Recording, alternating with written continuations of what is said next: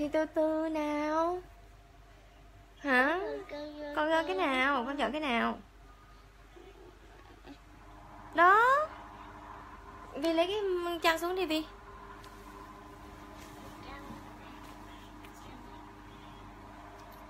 ơi, sao không có ai thế này? Con lấy cái chăn xuống. Không chăn kia nữa. Lười.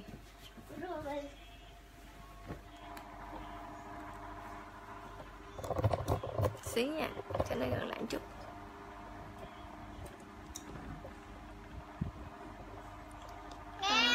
Mẹ, ơi. Mẹ lúc con chở con ra cái vòng này đúng không mẹ? đúng rồi. Cho con để sách vô đi không nó rớt của mẹ. Ờ có này mà sao trên đây nó không hiện ta? Mọi người có thấy phương không vậy? hello trọng hiếu. Hello phan hoàng anh ở sao ở trên đây nó không có nhảy uh, số lượng người coi ta? Nó không hello khánh duy hello bé thủy may mắn hello trâm ngọc. No nó bị cái gì rồi? Nói chung là ngày hôm nay phương bị uh, phương được quay về sớm nhưng mà một cái tình trạng xảy ra là dạ đi tập yoga xong quên luôn cái điện thoại quên một cái điện thoại ở phòng tập yoga. À lên rồi. Phòng tập yoga luôn mà tới bây giờ vẫn không biết là như thế nào cả. Dạ chị mộng trinh em chào chị. Ngày à, ngày 20 này qua có gặp chị nữa không? Dạ có hả chị? Em cảm ơn chị. Dạ rồi. Vậy là mọi người thấy hết rồi đúng không ạ? Rồi có hai việc. Việc đầu tiên xin được thông báo là cái bức cái status với cái bức hình hồi chiều phương chụp với lại một cô bé. Mọi người vào ờ, comment cũng như là like rất là nhiều rất là kịch liệt. Nhưng mà trời ơi xin được đính chính là cô bé đó là cô bé đóng vai con phương ở trong phim thôi. Không phải là con thật của phương đâu nha. À, đó mỗi cái bóng đi qua mới là con thật của tôi. Đó. Cho nên là mọi người vào ừ, thăm comment nhiều khen quá trời luôn. Thì thì uh, dễ thương. Nhìn lạ hả? Mới trời ơi tự nhiên đi cắt tóc mái nè nhìn có ngu không? Sao tôi nhìn cái hồi đó cũng cắt mái nhưng mà không có cắt máy thưa. Bây giờ nó cắt cái này nhìn kỳ quá. Hello ý nhi thị dương. Mờ quá hả? Chị cũng không biết sao nữa. Ok đợi xíu nha đợi xíu nha đợi xíu nha đó Ừ, thiên thần nhỏ nhà tôi đó Đợi xíu. Hỏi đợi xíu thì nó sẽ đỡ hơn. con làm gì đó bây giờ con có coi clip không hả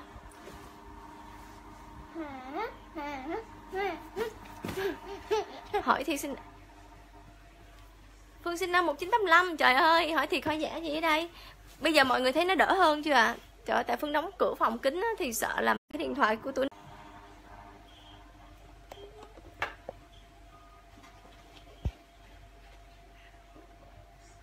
có tìm ra, chị chỉ mới gọi điện lên đó thì họ nói là có có thấy cái điện thoại của chị trên đó, nhưng mà để ngày mai ghé coi lại coi là còn hay không. Ờ mọi, hello, có Trần Xuyên, bây giờ thấy rõ hơn chưa ạ? Em tắt wifi em chuyển qua 3G luôn rồi đó, trời thì có thảm bại dễ sợ nhưng mà tại vì cũng sử dụng Viettel hết cho nên là nó cũng sẽ có thể bị chậm. Vẫn mờ hả? Trời ơi vậy là cái điện thoại của chị nó nó đến thời kỳ báo động rồi đó hiểu không? Đợi chị xíu đi.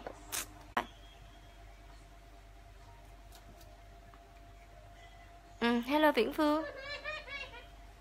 Vi ra đây vậy cái mặt coi. Đây xin được giới thiệu bà nhỏ nhà tôi đây. Nha, con bé hồi chiều là bé ngân chi, đóng vai hà my, con của phương trong phim ờ, những bà mẹ bỉm sữa. Còn cục cất cất chó của tôi nó nằm ở đây nè. Rồi, đi có hai clip đi nhanh lên. Ha lại mất tiếng hả? Trời ơi. Nghe chưa ạ? À hù.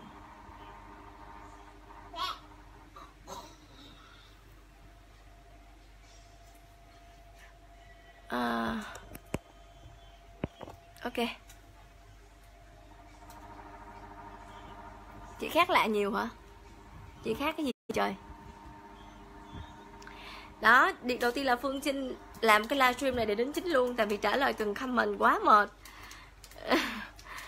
Việc thứ hai à, nói đến đó là à, ngày hôm qua à, à, cái cái livestream này mục đích là để review về một cái bộ phim ngày hôm qua phương xem đó là phim hạ cuối tình đầu. Mọi người đã nghe về bộ phim này chưa ạ? Vậy là chắc là mạng rồi. Để tùy mạng rồi. Trời ơi là trời ơi xuân sao nó có từ lưa rối rắm vậy nè. Một bà mũi bay ngang. Đi bắt mũi luôn. Um, chính xác là phương đi coi bộ phim này vì một lời mời của một nơi mà phương đang cộng tác và đã và đang cộng tác rất là lâu rồi. Đó là công ty truyền thông mcv dạ giờ này hình của tôi ngày xưa mà bá cắt như vậy nè. Thấy cưng không? Cắt không còn một cái manh giáp nào hết trơn hết trọi cắt y như là mấy con sticker hoặc hình của bả vậy đó. Vì ơi, cái bóng đèn đó mà con lại gần nó nóng. Bây giờ con có có đi lên đây không? Hả? Hay là muốn mẹ đi nữa? Mẹ bật rồi nha. À, Rồi trở lại vấn đề nha. À, Của MCV mời Phương đi xem. À, Với một dàn ekip ngoại trừ dàn bao á à, Là những nghệ sĩ thì rất là quen thuộc với mọi người rồi Từ uh, nghệ sĩ Lê Thiện cho đến cô Hồng Vân hay là chú Hoàng Sơn thì rất là quen thuộc rồi thì mình không bàn tới. Nhưng mà vấn đề chính là dàn diễn viên chính của phim thì là những người phương không quen. Thật sự là phương không quen. Cái động lực để coi phim chắc chắn sẽ không phải là từ diễn viên rồi. À, nó sẽ là từ cái nơi mình cộng tác và mình cũng muốn muốn ủng hộ phim đầu tay phim điện ảnh đầu tay của công ty. Nên là phương đi xem mặc dù là đi xem trong một trạng thái mà trời ơi chưa bao giờ mà tôi ngày hôm qua phương quay xong rồi nếu mà ngày hôm qua mọi người coi cái livestream là phương quay xong rồi đúng không? Phương đang trên đường chạy về đã về gần tới công viên gia định rồi từ thủ đức chạy về gần tới công viên gia định rồi bị gọi ngược lại để quay một phân đoạn nữa bị sót cảnh. Cho nên là cái hành trình đó nó rất là dài và rất là mệt thậm chí là định định nghĩ nó không kịp rồi nhưng mà cuối cùng cuối cùng là vẫn kịp đến nơi để mà xem. Ờ, à, diễn viên thì ngày hôm qua thì có Quỳnh Hương hả? Quỳnh Hương Huỳnh Hồng Loan Gia Linh. Xuân Nghị Xuân Nghị cũng là một diễn viên của sân khấu kịch Phú Nhuận thì chắc mọi người biết Xuân Nghị rồi. À, khả năng hài của anh này thì à, mình không phải bàn gì hết và thậm chí là Xuân Nghị diễn chính kịch cũng rất là hay. À, nhưng vấn đề là bốn diễn viên chính là Nguyên Hương Huỳnh Hồng Loan thì thì Phương không có rành. Mặc dù Nguyên thì đang đi chung phim với Phương thật nhưng mà tại vì hai chị em không có ở chung tuyến với nhau cho nên là cũng không có biết khả năng diễn của bạn này như thế nào. Rồi. à. Dạ thưa quý vị ờ, đây là hình dạ ừ, em gái mình tô dạ. À, con tự tô ok. Rồi mọi người đang hỏi là tại sao ngày mai vi đi học mà bây giờ vi chưa ngủ kìa? Vì hả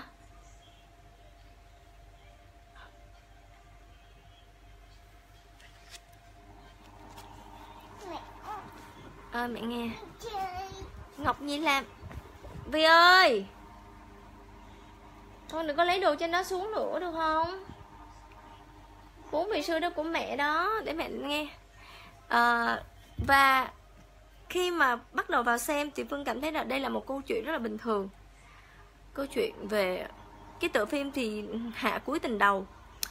Ừ, nội dung bắt đầu vô thì cũng bình thường kiểu như là học sinh cấp 3 thì um, có những cái mâu thuẫn với gia đình.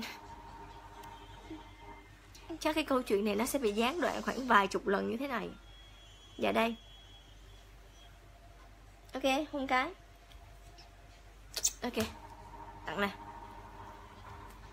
Đó um, bình thường thôi nói chung là những cái mâu thuẫn của uh, gia đình với lại uh, con cái à, những cái chuyện đó thì nó rất là đơn giản và, khi mà coi phim thì mình chắc là mọi người cũng sẽ bị khúc đầu tâm trạng giống tôi là ờ cái đề tài nó quá đơn giản vậy đưa lên làm gì mà thật sự là bởi vì phương vào trễ cho nên là phương không hề biết rằng đây là phim được chuyển thể kịch bản từ truyện gái sinh nổi loạn của anh lê hoàng. Nếu biết thì chắc chắn là nó sẽ sẽ sẽ, nó, cái đầu óc của phương nó sẽ chuyển hướng khác bởi vì tất cả chuyện của anh lê hoàng thì phương đều đọc gần hết, cho nên là phương biết rằng là không bao giờ anh viết một cái câu chuyện nào mà nó quá đơn giản.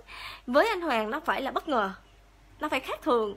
Cho nên lúc đó thì phương hoàn toàn không biết, cho nên khi mà phương xem á, thì cảm giác như vậy. Ờ thì mâu thuẫn giữa cô bé vai chính tên là ly với lại mẹ thì, nhưng mà càng về sau thì phương lại cảm thấy rằng là chính vì những cái rất là đời thường đó, nó mang đến cho chúng ta một cái cảm xúc nó rất là nhẹ nhàng, tức là nó càng bình dị, nó càng không có diễn, không có gì hết, nó cứ xuất hiện một cách đều đặn, giống như cuộc sống hàng ngày của mình vậy nhưng mà giống như kiểu hàng ngày mình đi học thì mình sẽ mong được nghỉ, nhưng mà đến ngày mình được nghỉ rồi thì mình lại ước được đi học. Thì câu chuyện nó y chang như vậy và càng về sau thì đúng là nó càng lộ ra. Và phương càng nhận ra ủa cái này hình như là là cách câu chuyện của lê hoàng cái cách cái những cái tình huống xảy ra mà cứ lật tới lật lui uh, giữa một chàng trai và hai cô gái với hai tính cách khác nhau. Một cô gái thì hơi nổi loạn mạnh mẽ quá nổi loạn và thích thích thể hiện cá tính gây sự bất ngờ nhưng cũng rất là tình cảm. Và một cô gái thì hơi mít ướt mít ướt nhõng nhẽo uh, yếu đuối.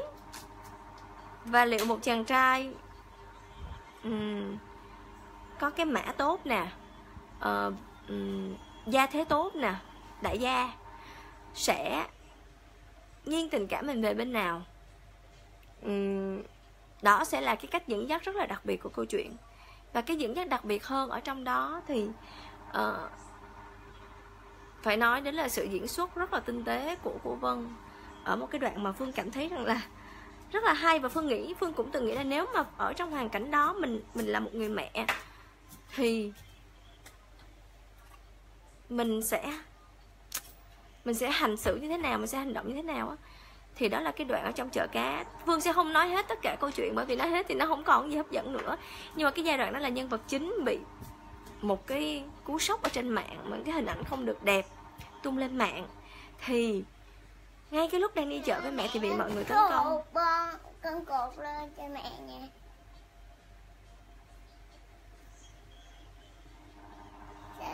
Sao cột xong rồi thắt bính cho mẹ nha?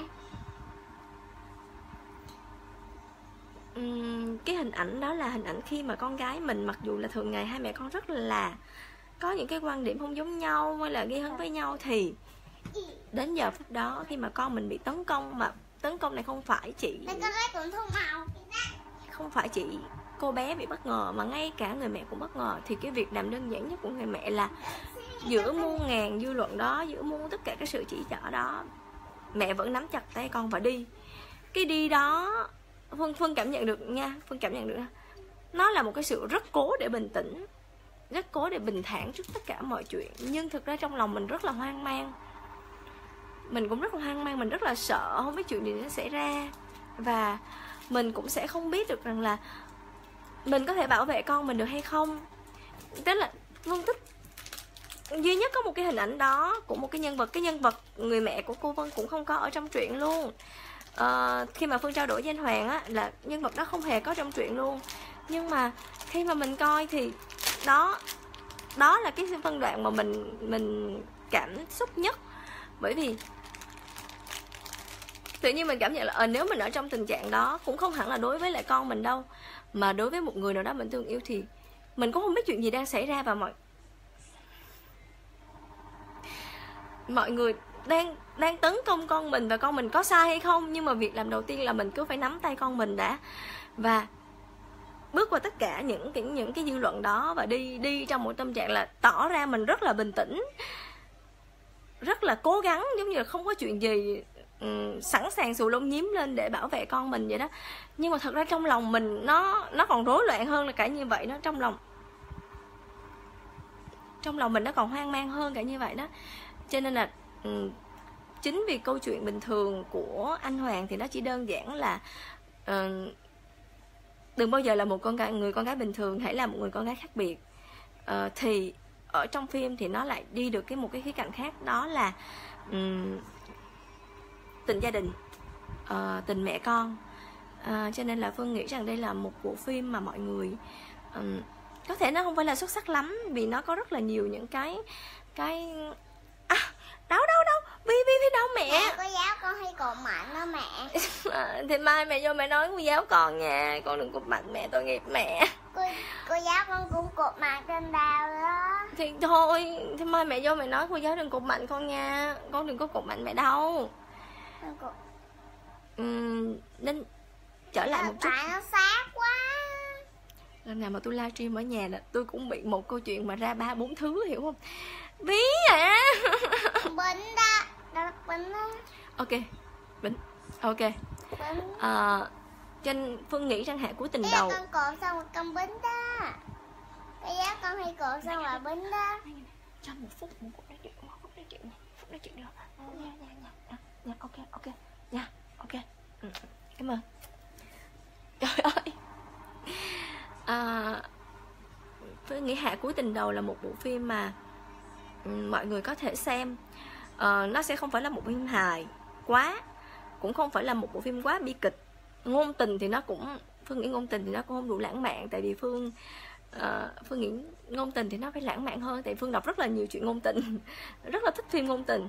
Uh, xong rồi mẹ ơi chỉ có hai bên nữa là xong rồi ok. Ờ, nhưng mà giữa giữa những cái lúc mà mình mình phải suy nghĩ quá nhiều thứ hoặc là mình uh, giống như kiểu là muốn điên đầu hoặc là quá mệt mỏi thì phương nghĩ uh, hạ cuối tình đầu là một bộ phim nó vừa đủ để mà um, cho mình một cái trạng thái nhẹ nhàng nhất. Tức là nó vừa đủ nó buồn vừa đủ và nó nhìn một hồi. Tôi giống như là con búp bê bà bị bị bệnh vậy đó. Thiệt á. Chắc tôi chết thiệt. À không phương nó phương mới đóng. Phương nói toàn các bạn nhỏ đóng thôi. Các bạn rất là trẻ và xinh. Và các bạn Ôi mẹ, bình thường con thấy mẹ cột bậy đó Chứ bữa trước con thấy mẹ tóc dài con mẹ mẹ thắp bánh đó mẹ quên rồi hả? ok. Ờm, và các diễn viên chính á, thì các bạn không phải là một những người hot hoặc là những người đang ờ, nổi Mẹ ơi, tiếng. Anna hay cột vậy á? Bà Anna. Xong chưa con?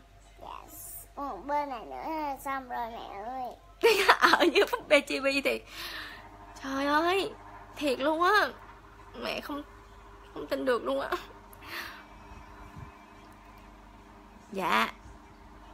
À, nên là phương nghĩ là đúng rồi có nghệ sĩ nhân dân vân Thì phương đang nói về vai của cô vân á. À, phương nghĩ là hạ cuối tình đầu là một bộ phim mà chúng ta có thể đi xem với bạn bè được người yêu cũng được gia đình cũng được luôn. Tức là nó sẽ phù hợp với nhiều đối tượng. Nó sẽ không không có bị kén chọn một cái đối tượng nào hết và đơn giản là nó sẽ làm cho mình uh, có thể mỉm cười nhẹ nhàng hơn để bước vào cuộc sống hay là trở lại với cuộc sống của mình. Uh, và quan trọng là nếu mà ai đã có từng có mối tình đầu á thì uh, coi bộ phim này với phương nha đã từng có mối tình đầu. Phương coi phim phương không thấy giống phương điểm nào hết. Nhưng mà đôi khi mình nghĩ ồ sao hồi đó um, mình không trời ơi viễn vương em em comment cái gì ở dưới? Chị buồn dễ sợ. À, sao mình không có những cái bút nổi loạn như vậy? Nó cũng sẽ rất là cho quần cuộc sống nó khác biệt đúng không? Thay vì những cái gì bình lặng nhất có thể. Thì đó à, đó là những gì mà phương chia sẻ về hạt hạt của tình đầu. Và chắc là trong những cái thời điểm gần đây thì mọi người sẽ thấy review về phim này khá nhiều. Uh, của một số anh chị em nghệ sĩ đi xem xin nói là phim này không phải là một phim xuất sắc một phim bom tấn nhưng mà nó là một bộ phim nó giống như là một cái câu chuyện thường nhật nhật ký viết lại vậy đó. Và ở trong đó có những cái tình huống hơi khác biệt so với đời thường một chút. À, còn một cái đặc biệt nữa là phân đố với mọi người trong cái livestream này nha. Nếu mà ai có coi là nếu ai đã coi phim hạ cuối tình đầu rồi ở trong đó có một nhân vật thật ra anh hoàng viết dựa trên phương dựa trên nhân vật của phương ở ngoài đời và ở trong một bộ phim hồi ừ, truyền hình hồi đó phương đã từng đóng cũng của tác giả lê hoàng luôn đó là những thiên thể áo trắng. Đố mọi người nhân vật đó là nhân vật nào? Nha giống với tính cách của phương ngoài đời hơi hơi. Trời ơi! Tôi không tin được. Tôi không tin được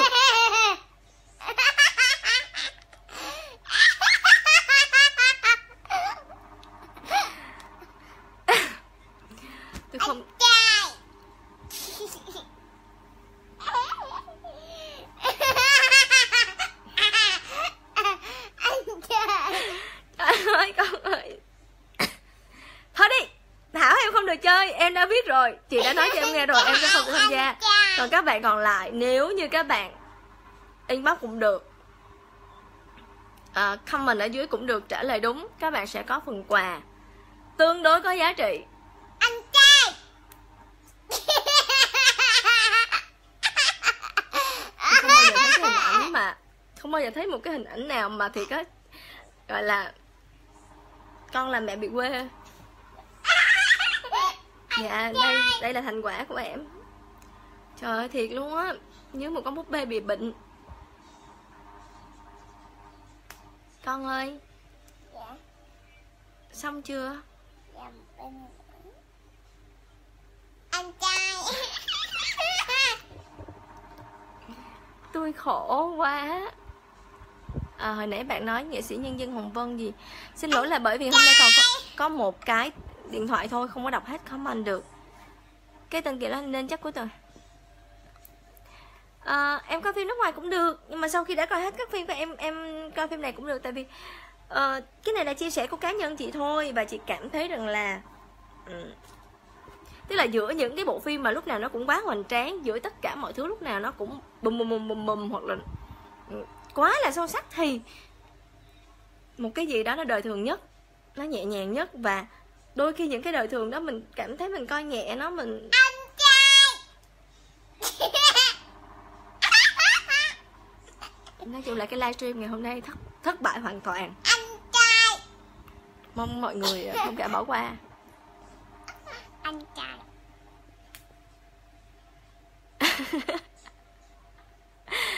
Con trôn mẹ.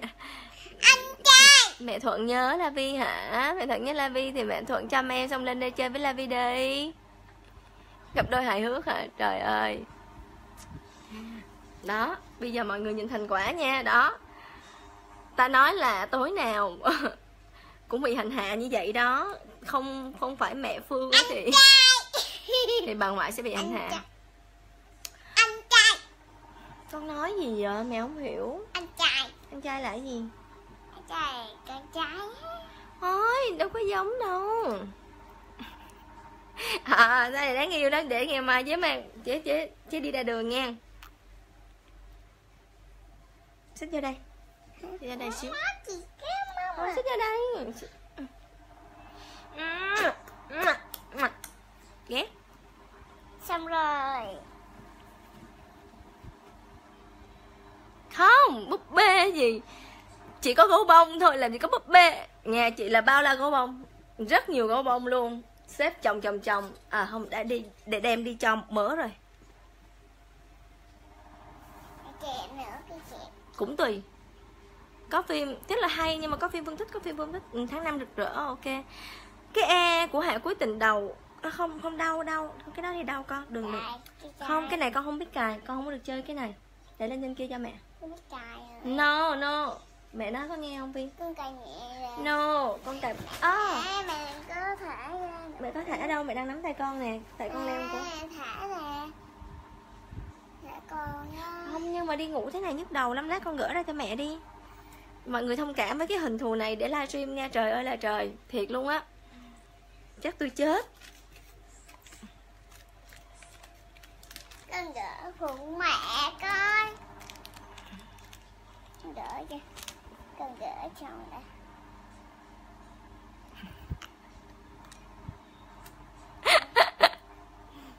trời ơi em không cho chị ngủ luôn yên tâm.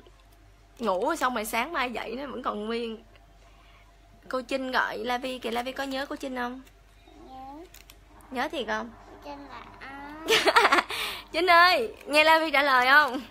Dạ nhớ. Cô trinh là ai? Em đi luôn đi nha.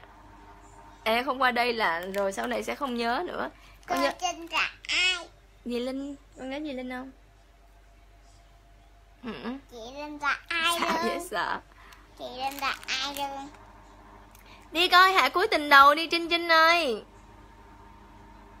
Chị nghĩ là em sẽ có cùng cảm xúc với chị đó. Trời ơi giờ phút này đừng mắt tôi hát tiếng nhân cầm trong đêm buồn lắm. Đời đời cơ bản là buồn cho nên là đừng tạo thêm những chuyện buồn nữa. Xin cảm ơn trời mừng quá. Mẹ xong một bên rồi tới? Nè đưa cái mặt qua cho cô với Trinh hôn nè ơi không thấy. Con đi đây. Hồi nãy nha hồi nãy bây giờ bị hư rồi. Hồi nãy á dẫn đi gội đầu.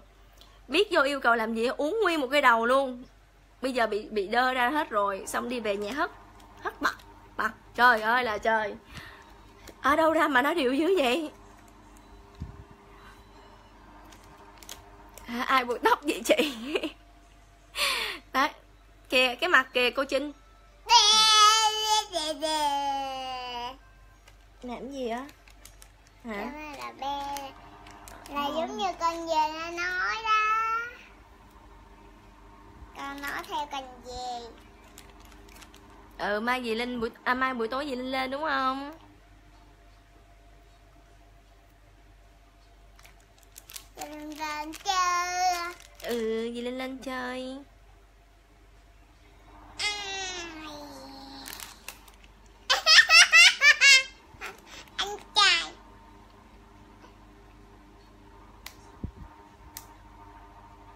ai Xong rồi Để con cùng một bên cho. Vẫn không vẫn không bỏ cuộc mà. Giờ chuyển qua một bên này nè đó.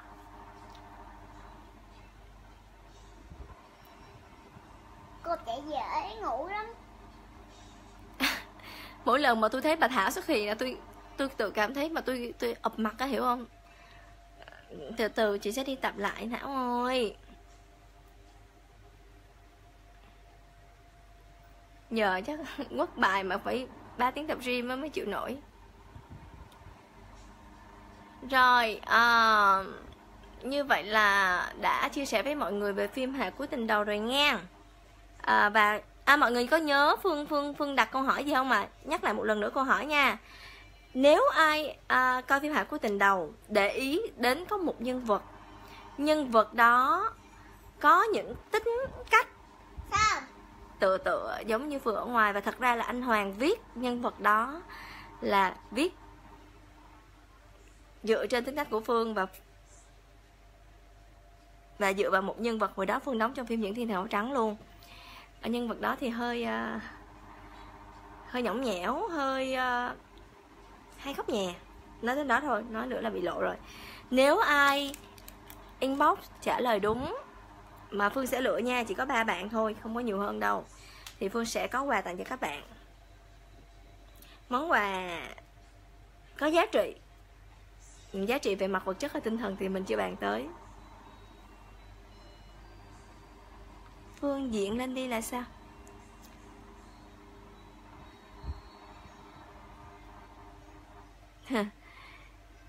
Chị cũng không biết thôi đừng có dùng từ không phục chị không biết nữa nhưng mà chị là bị một cái trạng thái là à ờ vi đâu mẹ con có thương mẹ không? Xin lỗi. Xin lỗi mà vô tâm vô hồn gì trời? Dạ phim hạ cuối tình đầu chị thúy ơi. Phim ngoài rạp.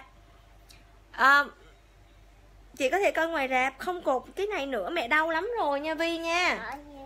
Cất đi nhanh lên hạ cuối tình đầu nha chị. Nhẹ nhàng dễ thương. Mẹ không cột rồi mẹ không hành công chúa gì. Cho mẹ bùi xù luôn con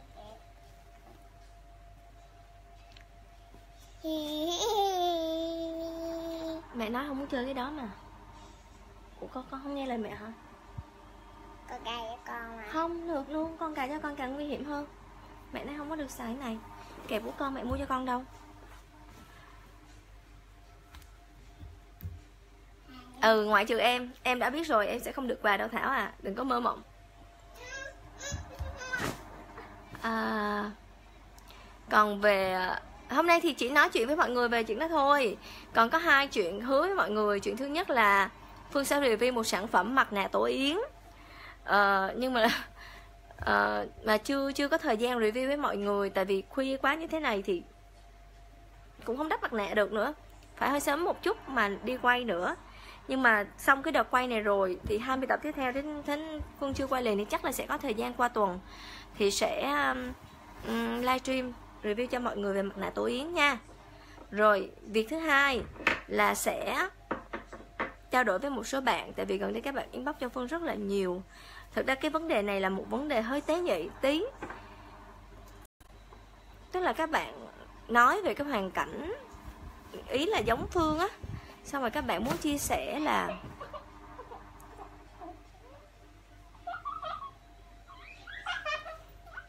nhiều khi mà trong lúc mình nói chuyện á, nó có hai, ba cái âm thanh. Nó làm mình bị phân tán, dễ sợ luôn á đã cột nữa hả con? Sao con quấn? Ừm, nói về hoàn cảnh giống như phương nói chung là về tình trạng uh, mẹ đơn thân rồi um, thất bại trong tình cảm kiểu kiểu như vậy á. Uh, thật ra là phương cũng rất hạn chế về chia sẻ với các bạn tại vì thật vì nói đúng ra là mỗi người mỗi người sẽ có một cái hoàn cảnh và mỗi người sẽ có một sức chịu đựng. và mỗi người sẽ có một tức là mỗi người sẽ có một cái cách khác nhau hết. Ờ, nên là phương không có thường các bạn inbox thì phương không có trả lời các bạn nhiều cho nên có một số bạn thấy cũng thực sự là cũng có lỗi. Mà bản thân là phương mà nhắn tin Để á đợi cho một xí nó sẽ Ừm. quấn cho đẹp trừ những cái gì đối nó quá quan trọng thì mình phải nhắn dài còn những cái trường hợp mà người ta không đủ không đủ gần với mình đó thì phương không dám nhắn dài vì nó sẽ đi hướng khác. Nhưng mà sẽ lúc nào đó nói chuyện với mọi người nói chuyện với mọi người trên quan điểm cá nhân của phương thôi nha là cái giai đoạn đó à, nhờ đâu mà mà mà mà mình như vậy. Và hiện nay phương cảm thấy rằng là qua những cái như vậy thì không phải là mình không ngã nữa không phải là mình không té nữa không phải là mình không đau nữa tức là ngày xưa cứ nghĩ là ờ như vậy là khổ nhất rồi, như vậy là đau nhất rồi. Thì chắc là sẽ không bao giờ có những cái chuyện nào có khả năng làm cho mình đau thêm được nữa nha. Nhưng mà không phải như vậy. Không phải như vậy thì nó có hai cái cạnh ở chỗ rằng là một là mình quá dở. Dở là tại sao những cái chuyện đó nó cũng đã xảy ra rồi, hoặc là nó cũng lặp lại, hoặc nó cũng gần gần như vậy mà mình vẫn buồn. À ok viễn phương, bye bye em. Nhưng cái thứ hai mà mình phải, Ô Phương hay nghĩ về khía cạnh tích cực lắm. Tức là bất cứ chuyện gì xảy ra Lúc đó mình có thể buồn, mình có thể vui, mình có thể giận Mình có thể, mình có thể bị điên mình, mình xuất phát điểm của cái cảm xúc lúc đó. Nhưng mà sau đó Phương hay nghĩ về một cái khía cạnh Ờ, cũng may là như vậy cho nên là nó mới vậy Kiểu như vậy Thì cá nhân Phương á Là Phương luôn luôn nghĩ về cái chiều hướng rằng là um, bất cứ một chuyện gì cần xảy ra là nó phải xảy ra và nó xảy ra là có lý do của nó. Ờ, nên là đừng mặc nhiên chắc là tại sao hồi trước nó lại như vậy. Đôi khi bản thân phương cũng có những lúc mà phương nghĩ là hồi đó đừng làm vậy phải chi là đừng có như vậy. Thì nó chắc là nó sẽ không ra vậy. Nhưng mà ờ, có một người bạn của phương đã từng nói là cái người nhắn cho phương có bốn điều cơ bản trong cuộc đời. Phương không nhớ chính xác nhưng mà ý là cái người nào mẹ xuất hiện trong cuộc đời mẹ đợi xíu mẹ đừng có thả ra nha để cho quấn xong thả ra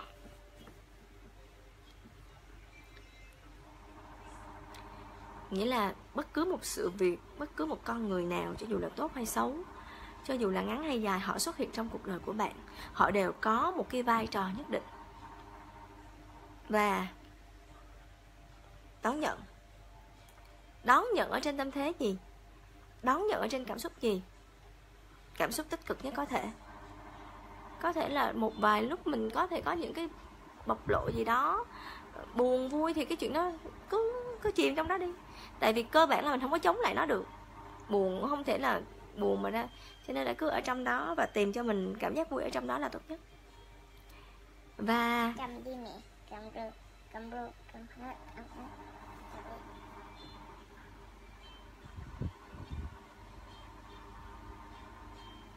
Mẹ khi ngủ mẹ xả ra thì ngủ. Nó đứng hiền thì mẹ có xả ra nha trọng trách lớn dễ sợ không? Nhưng mà nói chung phương nghĩ rằng là bất kỳ một cái chuyện gì đó khi mình quyết định mình phải có trách nhiệm. Trách nhiệm ở đây ở chỗ rằng là không phải là bốc đồng lên thích ok thích. Không thích thì nó không kiểu không thích. Cái đó là mình sống cho bản thân mình thôi. Còn những cái những cái mối quan hệ mà nó tiếp theo. Tức là nó giống như là domino một cái này ngã thì tất cả những cái dây liên hoàn nó sẽ ngã theo. Thì chúng ta không thể nào ồ tôi ngã một cái rồi cái gì ngã theo rồi kệ đó nha. Giờ tôi đứng lên là tôi nói tôi đứng lên không có như vậy. Tôi nghĩ là mình nên đi hết. Cái cái trách nhiệm đó của mình đi hết cái cảm xúc đó của mình cho nó trọn vẹn. Cầm luôn cầm cái. Hết nha. Ok chế nói tạm biệt em rồi đó phương ơi em về đi. Nãy giờ em tạm biệt chế hai ba lần rồi tội nghiệp quá à.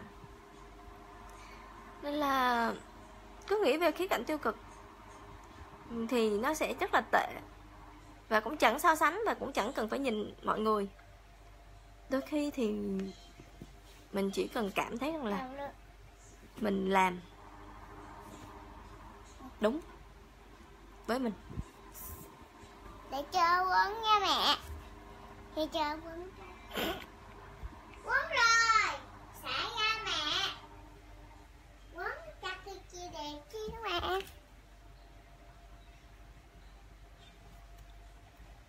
đẹp chưa mẹ? Đẹp không mẹ? Con quấn tay mẹ nó sẽ quấn theo con tay con. À à ui ui đau đau đau đau. Chỗ này đau nè vi lỏng ra. Không la vi rất có khiếu làm tóc. Cứ mỗi lần mà coi trên mạng thấy cái gì làm tóc là là cái đầu tóc của mẹ phương nó sắp banh chành đó hiểu không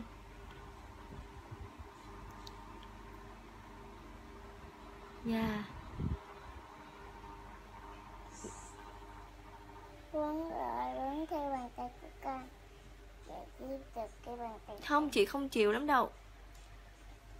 Đương nhiên con mình thì mình phải thương chứ. Mình phải có những lúc chiều chứ. Nhưng mà có những lúc một số việc trong cuộc sống nha giữa mẹ với con thì chiều nhau không vấn đề. Nhưng mà ờ, với ờ, ngoài xã hội với những cái khác thì sau này bé lớn lên mình không chiều mình không chiều nhưng mình cũng không phương nghĩ là mình không nên chiều. Mà mình cũng không nên gò ép. Mình chỉ cần phân tích những cái cái cái cái cái cái quan điểm những cái đúng sai theo cái của mình để cho bé hiểu. Nói chung là làm sao đơn giản cho bé hiểu còn cái chuyện bé làm bé hành động hay là như thế nào đó thì chẳng hạn như giả sử như có những cái kết quả nó phải xảy ra thì phải để nó xảy ra. Tại vì nói thì hơi hơi hơi hơi uh, không biết nữa nhưng mà phương nha và không phải một mình phương đâu mà một số những bà mẹ khác đã có những cái quan điểm những, những cái suy nghĩ hơi hơi lóe lên giống như phương. Khi mà mình bảo vệ con mình á mình mình sinh ra con mình á mình cảm thấy hạnh phúc lắm. Hạnh phúc ở chỗ là giống như mình làm được một cái điều gì đó rất là những những cái mình đánh đổi nó rất là xứng đáng kiểu như vậy á. Cho dù là nó là con của mình thôi cũng được. Nhưng mà tức là mình làm được nó là nó là điều đúng chứ không sai sai nữa Huy.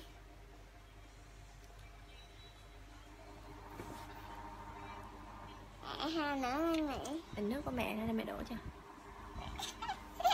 ờ nói tới đâu ta? Nè Nhưng mà có những lúc mình lại suy nghĩ vậy nè. Mẹ ơi bác sĩ không cho con uống này mà. Không không cái này cái khác mẹ mẹ hóa lãng ra rồi. Ờ, giống như là mình mình sinh ra mình có bầu mình mình yêu thương con mình mình bảo bọc con mình. Những lúc mang bầu không biết là mọi người chị em phụ nữ đây có suy nghĩ sao chứ? Cái thời điểm mang bầu là một cái thời điểm nhất là con đầu lòng là một cái thời điểm mà phương cảm thấy phương mắc cười vô cùng.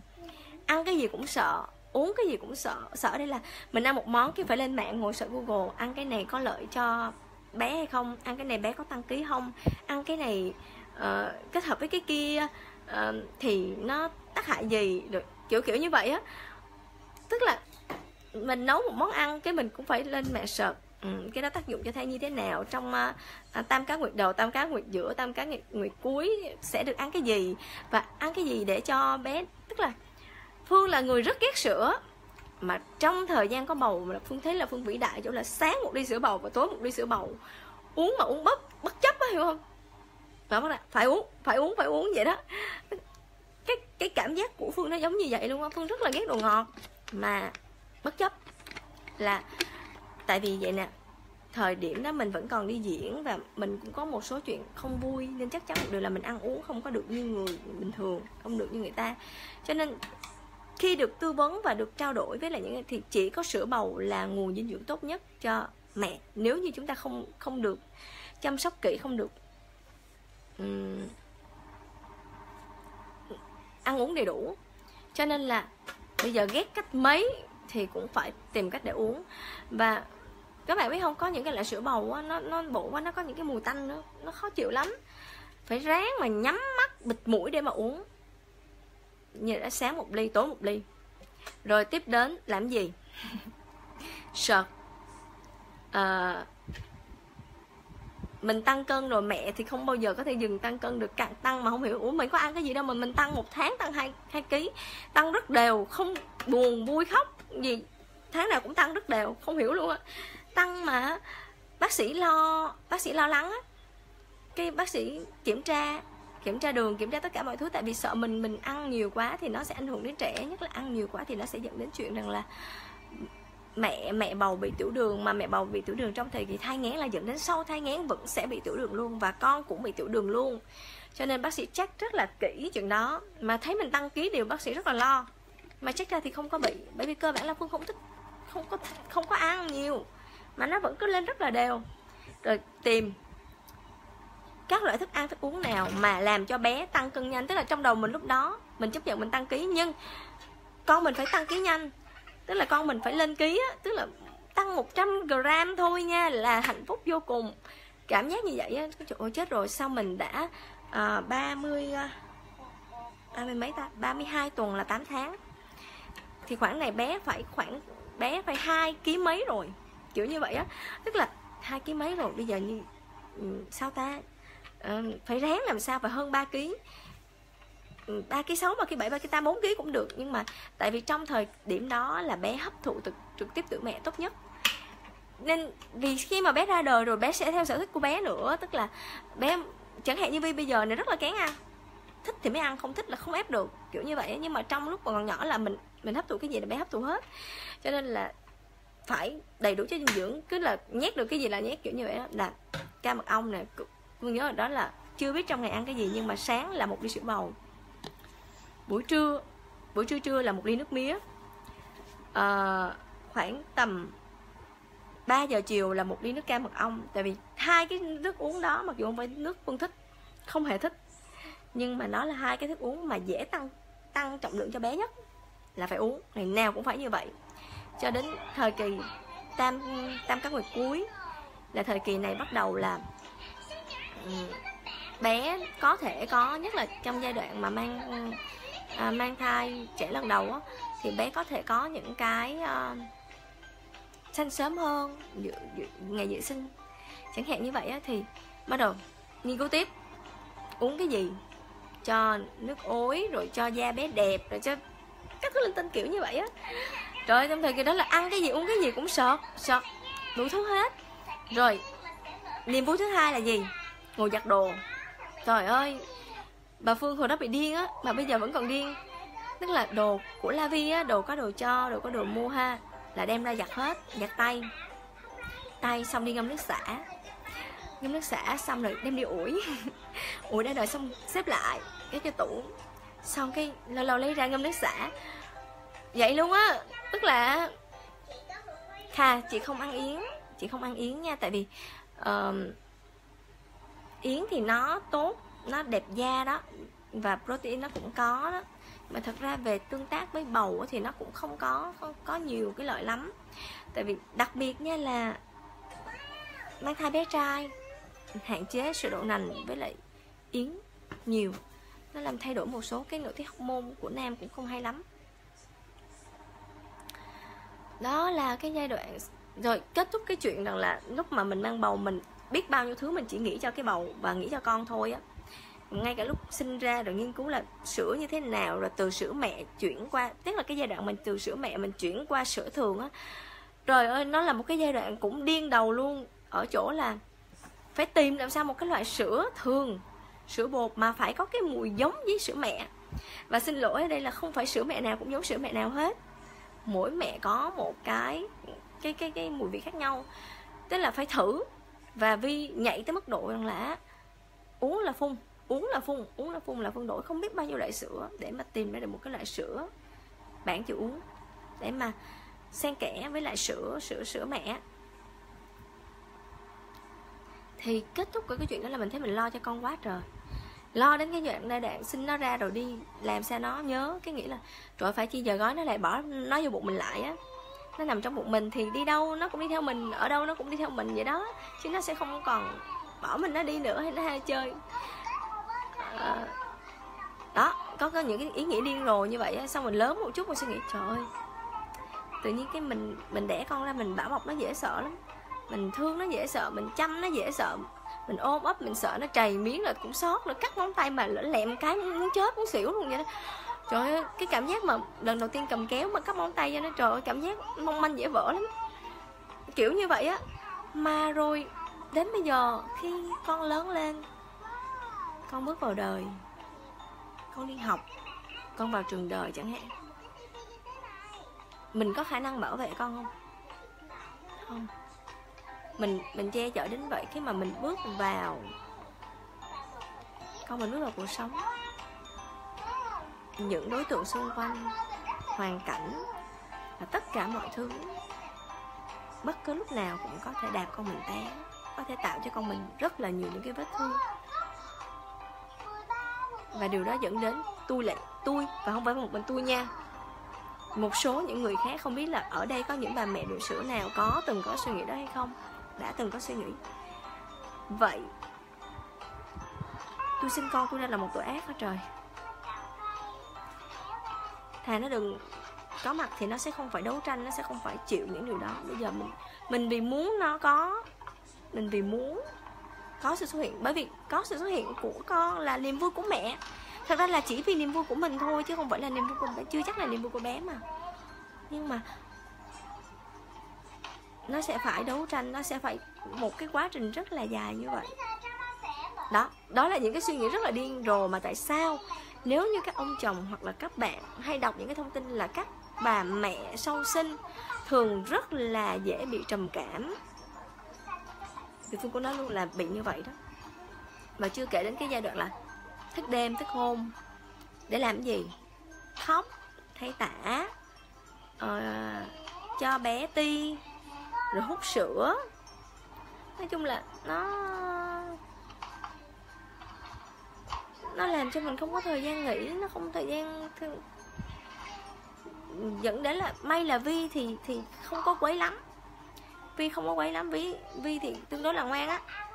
À, vi chỉ có ham ngủ thôi nhưng mà với một số trẻ khác quấy thì cảm giác cái áp lực nó kinh khủng đến từng mức độ nào?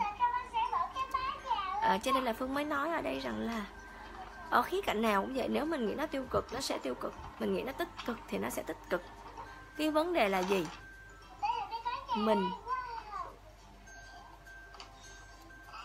không thể nào, giống như là mình bảo vệ con, nhưng không có nghĩa là con không bị thương. Mình yêu một người cũng không có nghĩa là người ta phải yêu mình. Vậy thì câu nói mà đến tận bây giờ phương vẫn tự nhủ luôn, đó là mình cứ làm tốt việc của mình trước đi đã mình cứ cố nhất hoặc là tốt nhất có thể, đi đã. Còn chuyện còn lại à cũng gần đây cũng có một số những cái kiểu bài viết là hãy cứ kiên nhẫn, hãy cứ chờ đợi đó. Hãy cứ cái gì đó để mà trời xanh khắc, có sự an bài. Rồi, không nói nữa là bởi vì á à, phương sẽ phải giải quyết bạn nhỏ bạn nhỏ đi ngủ. Nay phương phải đi làm nữa. À, cảm ơn mọi người đã là theo dõi livestream này. À, để lúc nào mà thật sự là có thời gian và lúc nào lúc nào phải không có một cái âm thanh khác một sự quấy rối thì phương sẽ uh, nói chuyện với mọi người nhiều hơn nhé.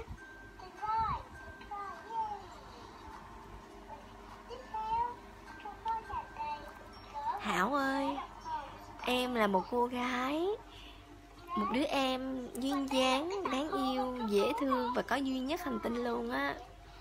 Chị cưng em nhất luôn á. Ok. Son đẹp lắm hả? Ngày mai đánh chồng miếng nha. Rồi à, ai mà lên trễ thì thì rảnh các bạn coi lại nhé. Còn bây giờ thì phương tạm biệt. Ngủ đây. Và nhớ đi coi hạ cuối tình đầu. Và phim những bà mẹ biểu sữa khoảng 3 tháng nữa sẽ chiếu ở HTV9 mọi người nhớ coi nhé. Chúc mọi người ngủ ngon, mơ đẹp. Mơ thấy điều mình muốn thâm muốn thấy.